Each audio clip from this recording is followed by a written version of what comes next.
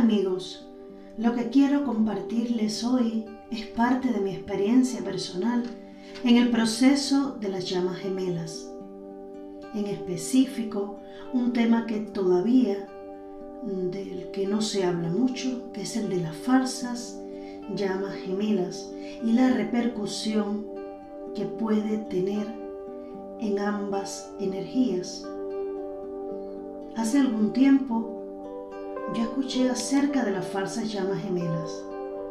Y en principio me alarmé, dudé, no podía creer que pudiera ser cierto la existencia de las falsas llamas gemelas porque lo que hasta ese momento había conocido de esta conexión es que eran conexiones tan perfectamente engranadas e interconectadas que era sencillamente imposible confundirlas con alguien más.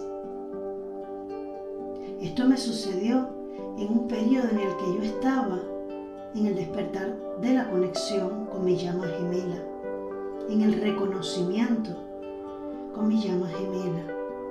Sin embargo, al poco tiempo conocí a alguien con quien de manera similar establecí una conexión mágica e increíble y comenzaron las dudas sobre cuál de las dos personas sería en realidad mi llama gemela.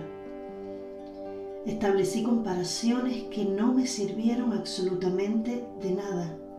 Todo lo contrario, lo que hacía era confundirme más. Enfocada en conocer acerca de las falsas llamas gemelas, no logré absolutamente nada y empecé a buscar entonces más información acerca de las llamas gemelas, de las características, de las etapas y todo cuanto pude indagar.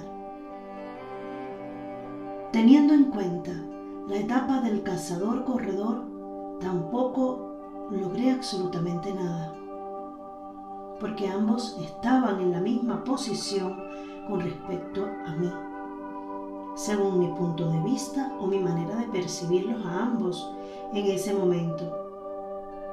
Los movía una atracción magnética, algo que no se podía explicar. Sin embargo, al final huían.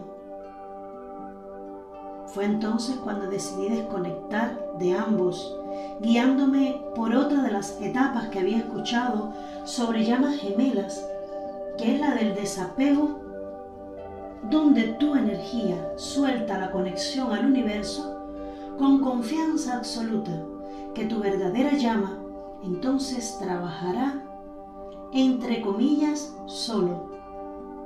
Digo entre comillas porque entre las llamas gemelas energéticamente nunca existe separación, aunque físicamente sí estén a distancia. Es como que literalmente se alan, se llaman, incluso sin hablarse o conocerse. Comencé entonces a trabajar en mí, en mis partes más oscuras. Decidí enfocarme en mi sanación, en mis traumas, algunos que ni siquiera los había considerado traumas y que después de sacarlos a la luz pude trabajarlos. Hice trabajo de sanar mi niño interior, de perdonar a esas personas que me habían hecho daño. Alcancé la comprensión, la certeza que no había sido a propósito, pero también trabajé en perdonarme a mí misma y a aquellos que sí me habían hecho daño intencionalmente. Lo mejor es que comencé a amarme más a mí misma y dejé de responsabilizarme por aquello que no había sido mi culpa, pero también por lo que sí había sido mi culpa. Lo primero que logré fue una liberación, una tranquilidad y una paz interna que me sorprendieron. Y llegaron los cambios muy positivos en mi percepción de las cosas y en mi vida en general. con todo ese revuelo interior, también me tocó lidiar con una pregunta que se convirtió en una constante. ¿Cuál era el propósito de la vida?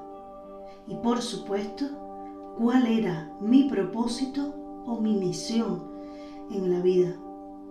Además, ¿qué tenía que ver mi conexión con mi llama gemela en el cumplimiento de mi propósito o mi misión de vida?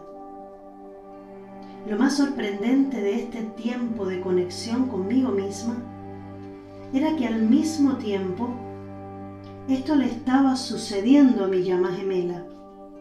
Mientras más yo trabajaba en mí, más despertaba mi divino masculino. Esto lo pude saber primero en visualizaciones, en meditaciones, en conexiones psíquicas, trabajos psíquicos que hice y siempre pude ver a uno de los dos en específico. Pero ahí estaba mi ego dándome batalla y volvía la duda. Afortunadamente y gracias al constante y profundo trabajo que hice, no pasó mucho tiempo para que mi llama se decidiera a confesar todo lo que le estaba pasando, cosas que todavía no podía comprender del todo, pero que lo llevaban siempre a mí y a la seguridad de que era yo con quien quería compartir su vida, su espiritualidad, espiritualidad que había comenzado a cultivar después que me desconecté de él y que lo había llevado a sentir la necesidad de hacerse preguntas acerca de su misión de vida, cosa que también había descubierto en ese periodo en el que yo estaba trabajando en mí. Con esto comprendí que mientras más yo hacía mis meditaciones, mis introspecciones, él más se acercaba a mí y más crecía espiritualmente y más mejoraba como persona. Por otro lado, y fue la segunda mejor parte de todo esto, aquella persona que en un principio yo había visto como posible llama gemela, como esa persona que reunía todos los requisitos, pues poco a poco comenzó a alejarse sin explicación. Mientras yo más trabajaba en mí, esa persona más se alejaba de mí y de la nueva visión que yo tenía de la vida. Más me demostraba su ego, su orgullo, su soberbia. Empecé a ver cómo miraba por encima del hombro a los empleados, cómo juzgaba sin detenerse a escuchar ni a valorar. Vi cómo el poder y el éxito sobrepasaban por encima de la humildad.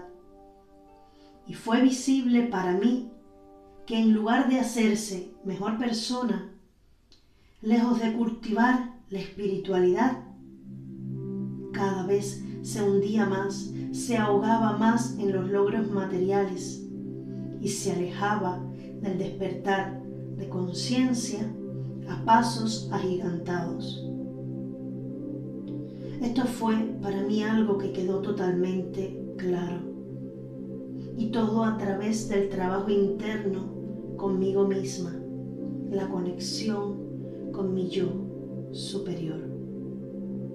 No significa que para todos siempre vayan a haber falsas llamas gemelas, ni confusión porque existan dos o más personas.